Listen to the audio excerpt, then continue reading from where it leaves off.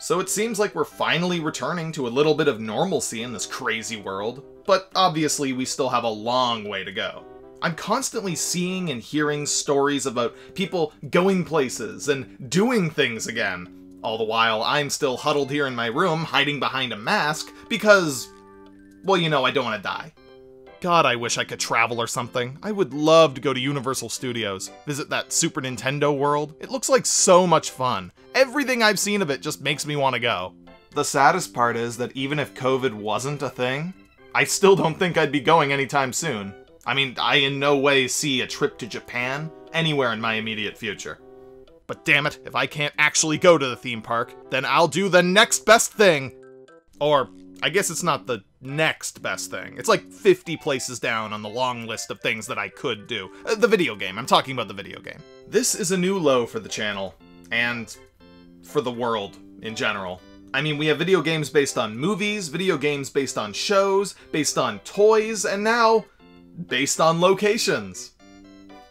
Because why not? I mean, I, for one, am really looking forward to Burger King, the game. Actually, they, they have one of those. Actually, they have several of those. God damn it.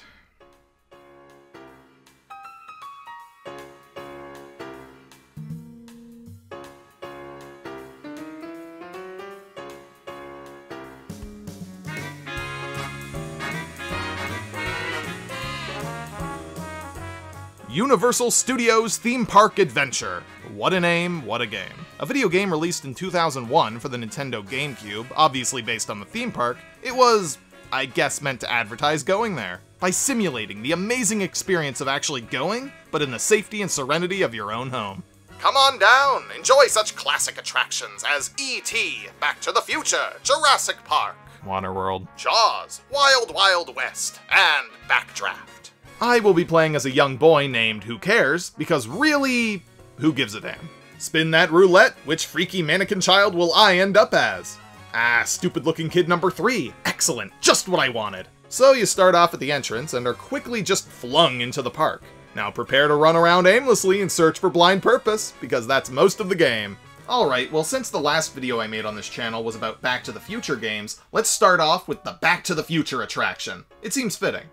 So I run around for about five minutes, not really knowing where to go or what I'm looking for, and then I notice some people that I could talk to. Get a map back at the park entrance. Oh, okay, I'll run all the way back there, I guess. Thanks for telling me this at this point. Really helps. Hell, I almost walked right past the guy who was handing out these maps twice. Alright, I have the map. Let's see where we are.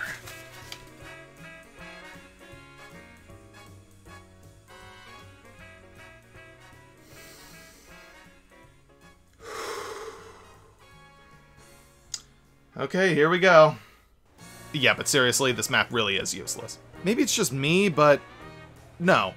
No, it's not just me. I refuse to believe that. This game's map is terribly designed. And I don't mean the graphic for it. I mean the layout of everything in the world and how this game was designed from the ground up. Like, when I started playing, I was immediately overwhelmed. There are just so many people on screen that it's often hard to see where I am. On top of that, it's incredibly easy to get disoriented. The graphic for the map is all well and good, fine, I'm sure it resembles the actual park, but the orientation of the fixed camera in the actual game, more often than not, does not match the map.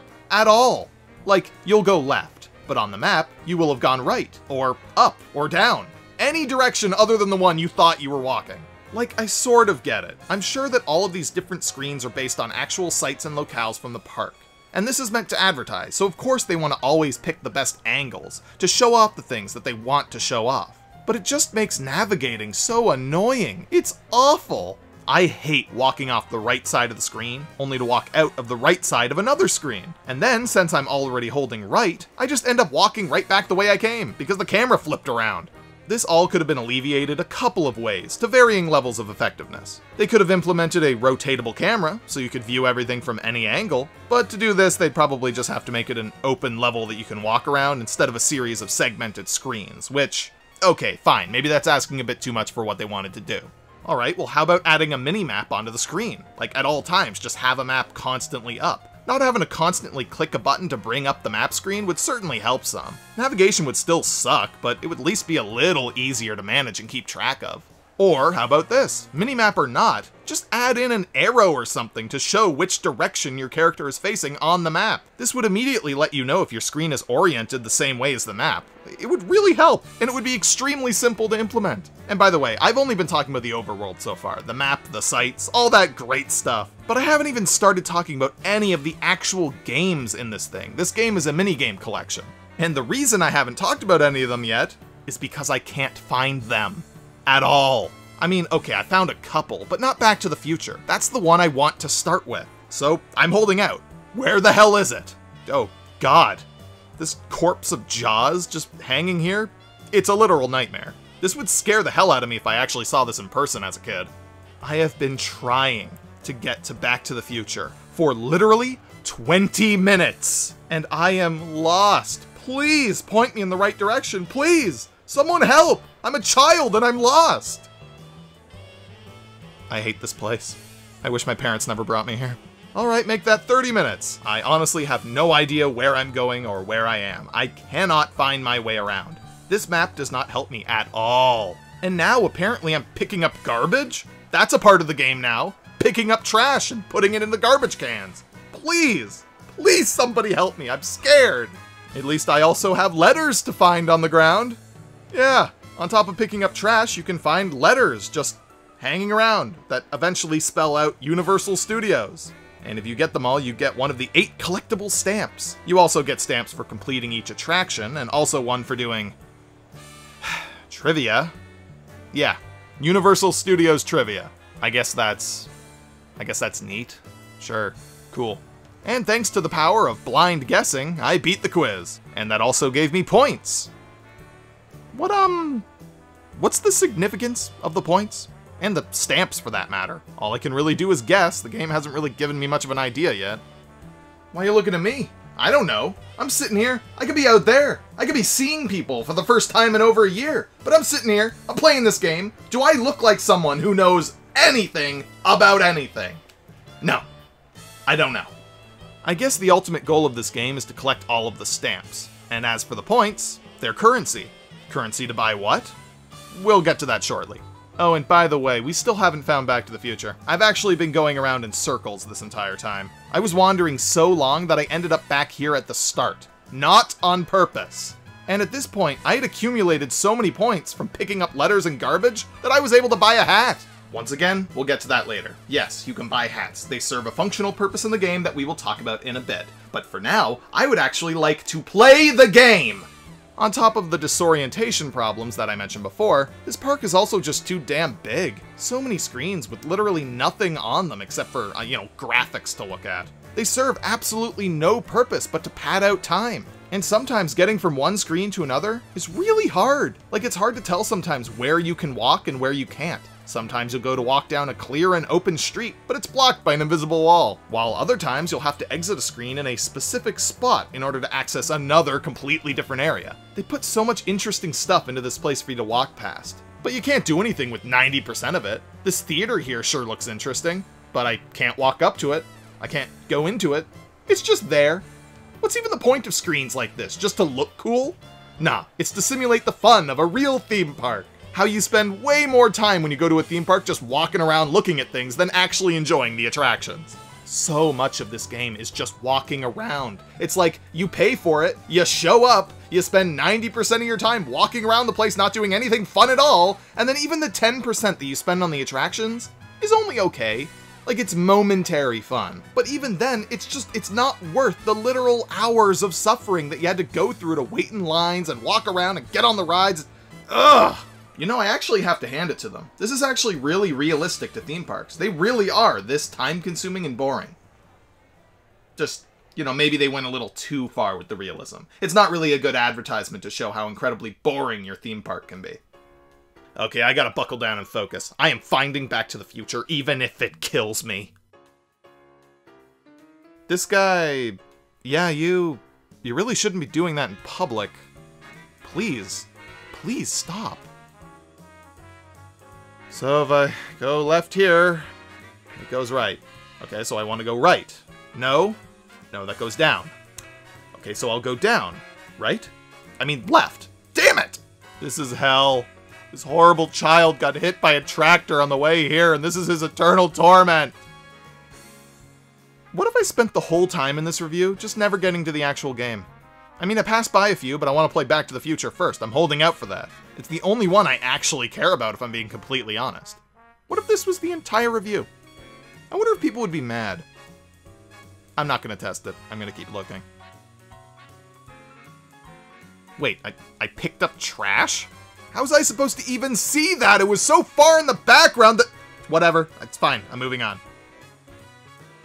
I don't know where it is. I don't... this is... This is so freaking funny. Just gotta laugh. this game is insane. This game is completely insane. It's so bad. It's so bad. Oh, Oh, Waterworld! This is a new screen! That's progress, I haven't been here before! And finally, finally, I found it. It only took me 49 minutes. The worst part is, I don't even know how I got here. I just started running around maniacally at a certain point because I think I went a little crazy. And I just kind of ended up here. Okay, so after, I'll be honest, the funniest cutscene ever, like literally funniest cutscene I've ever seen in any game, the Back to the Future minigame starts and Okay, no, sorry. You have to see this cutscene. I'm just gonna play it for you.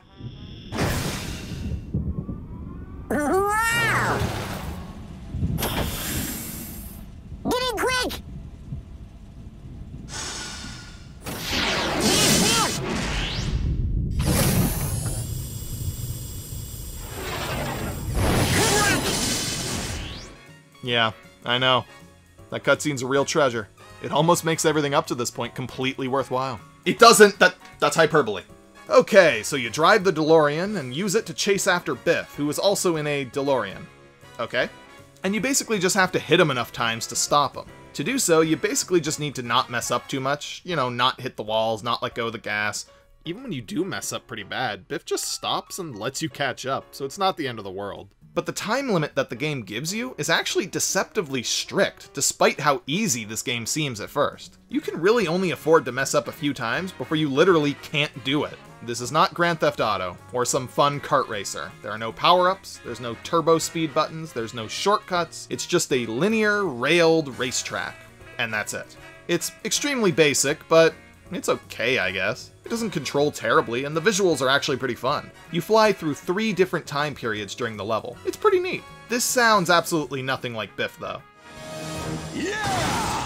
What are you doing? Like, seriously? You couldn't find someone to sound just a little more like the original actor? This isn't even close. It sounds nothing like him. But whatever, three tries and I got it. I was awarded a stamp, and now I'm back to the best part of the game. Walking around!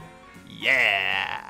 Well, at least I passed by all the other attractions while looking for this one. So even though navigating this game is incredibly confusing, at least I sort of know where I'm going now. Though I am now being faced with a new issue. Lines. Yep, every theme park has lines. Lines that never move. Lines that, in this game, mean that you can't access any of the rides. And really, isn't it fun that after playing just one of the mini games, I am now not allowed to enter any of them anymore? Because of the lines? Isn't that just nifty? That they just kind of stop your progression like that? And here's where the hats come in.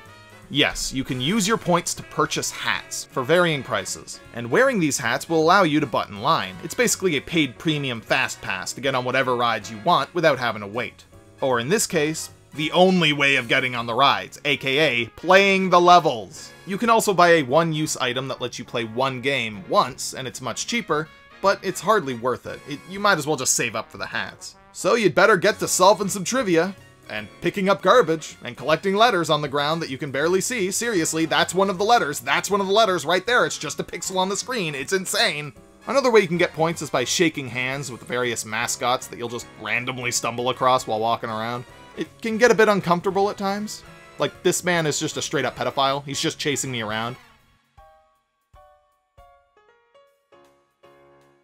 Stop. Alright, so fast forward. A lot. And I have all the hats. Now let's finally talk about the rest of the actual games. Let's just get Waterworld out of the way. It's. I mean, it's not a game. It's not a game at all. Literally, it's not a minigame. It's the only attraction to be this useless and stupid. You don't even get a stamp for it. It's completely useless. This attraction is literally just that. It's an attraction. It's a show. All it is is five short cutscenes, all exactly the same but from different camera angles. And that's it. Here you go, kids. It's almost like you're really there. Hope you enjoyed it. It's I guess it's an animated version of what I would assume the real attraction is a stage show where the audience gets splashed with water. And there's some pyrotechnics and. Look, I'm sure that this is really cool up close and in person. These special effects would be really cool to see in person. But this is just a bad cutscene in a bad video game. There's no point for this. Alright, next up is Jaws. I've had a great history with Jaws games, so I'm sure that this will be great. My first impression was that it really, really sucked. You have to throw things at Jaws before it can destroy the ship you're on, but I can only seem to be able to throw the barrels once Jaws comes close, meaning that he always manages to take a bite out of the boat. And even if I hit him every time he damages the boat, he always destroys it just before I manage to kill him, and I lose. Again and again. Well, it turns out that I was actually making a very simple mistake. The B button does not throw items, the A button throws them even though the game kinda tells you otherwise. I guess it was just bad wording, but I found it very confusing and misleading personally. So now that I can actually throw stuff properly, and also I realize that you can get items from breaking open crates, it is now slightly less sucky. I mean, it's fine, I guess. It's harmless. It's pretty easy, and it's very simple, but yeah, this minigame's fine. I wouldn't really play it again, but it's fine. Okay, Jurassic Park. Amazing movie. I'm expecting a masterpiece worth my time. Alright, bad choice of words. This was probably the longest minigame out of all of them. Or, at the very least, it felt like it. You're in the back of a speeding vehicle shooting at dinosaurs with a laser gun? It's kinda weird. But whatever, that's the game. You can lock onto multiple dinosaurs before releasing the button to fire, or just spam the button like crazy, or a combination of both. And at the end, you, of course, have to put down a T-Rex. Honestly, this attraction wasn't that bad. It was actually kind of fun. It was just a little long. I guess it kind of just overstayed its welcome a bit. Cut down the length a bit though, and yeah, this one's good.